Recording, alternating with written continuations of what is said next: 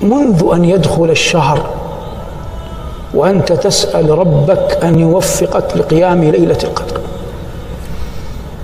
الأمر الثاني لا تفوتك صلاة العشاء والفجر جماعة في ليالي رمضان كلها وفي العشر الأواخر أولى.